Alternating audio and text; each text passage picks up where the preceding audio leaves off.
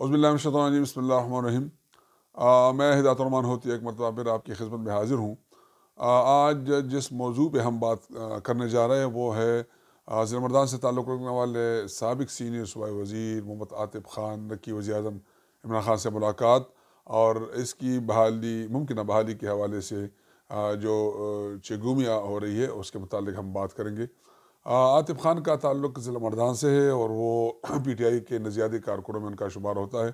A, P T I جب بالکل اس کا آغاز تھا تو عاطف خان قائد آ، تحریک انصاف عمران خان کے ساتھی بن گئے تھے اور انہوں نے آ، پارٹی کی مضبوطی کے لیے نہ صرف پال کردار ادا کیا بلکہ کارکنوں کو متحد کرنے کے لیے بھی اپنی تمام تر توانائی صرف کی۔ پہلے دور میں جب بی ٹی آئی کی صوبائی حکومت یہاں پہ بنی تھی تو پرویز خٹک وزیر اعلیٰ تھے اور صوبائی عاطف خان کو صوبائی سینئر وزیر بنا دیا گیا تھا۔ اس کے بالکل آغاز ہی میں انہوں نے وزیر اعلیٰ پرویز خاٹک کے ساتھ اختلافات کو جنم دیا اور اس کے مابین اختلافات شروع ہو گئے۔ جس کے بعد عاطف خان آ، زیادہ تر انفارمیشن وہ وزیر اعظم کے ساتھ شیئر کیا کرتے تھے جو کہ وزیر اعلیٰ آ، پرویز خٹک کے خلاف ہوا کرتی تھی۔ جو مختلف سیاسی حلقے ہیں ان کے مطابق آ، پرویز خاٹک عاطف خان سے ناراض بھی تھے اور ان کا یہ کہنا تھا کہ عاطف خان کی وجہ سے میں پی ٹی آئی کے پانچ سال حکومت میں وزارت اعلیٰ کے منصب پر پائز رہا۔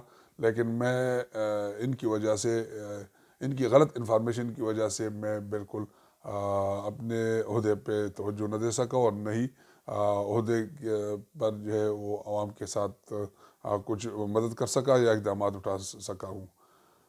چونکہ اب دوبارہ خیبر پختونخوا میں پی ٹی آئی کی حکومت بنی اور محمود خان وزیر اعلیٰ بنے۔ عاطف خان کی روش نہیں بدلی اور انہوں نے دوبارہ محمود خان کے ساتھ پنجاب آزمائش شروع کی جس کی شکایت انہوں نے وزیر اعظم عمران خان کو کی اور اس کے بعد عاطف خان اور شاہرام خان کو وزارت اعلیٰ سے کے منصب سے ہٹا دیا گیا۔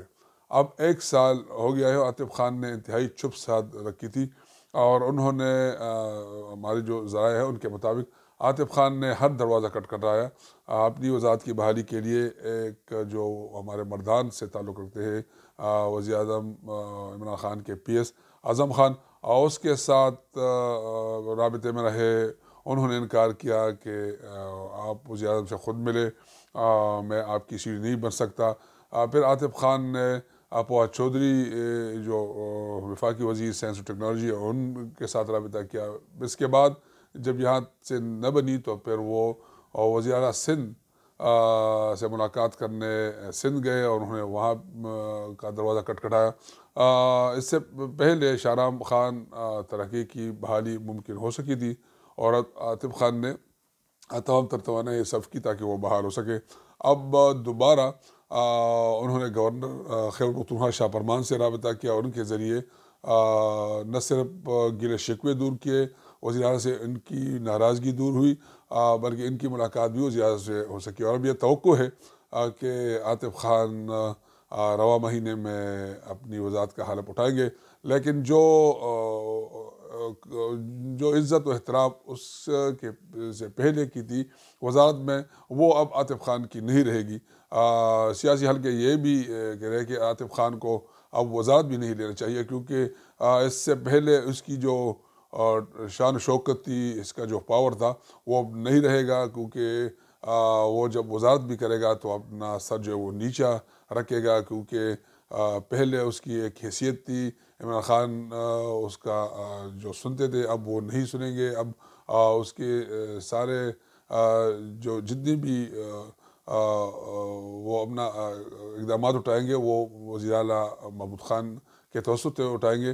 تو اب وہ پاور نہیں رہے گی۔ اب دیکھنا ہے کہ حالات کس نہج جاتی ہے، سیاسی جو گہما گہمی وہ کس طرف چلتی ہے۔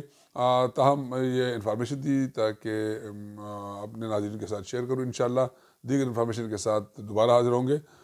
تب تک کے لیے ہدایت الرحمان ہوتی کو اجازت دیجیے۔ ہمارا چینل سبسکرائب کیجیے، لائک کیجیے، انشاءاللہ آپ کے ساتھ مزید انفارمیشن شیئر کرتے رہیں گے۔ اللہ حافظ۔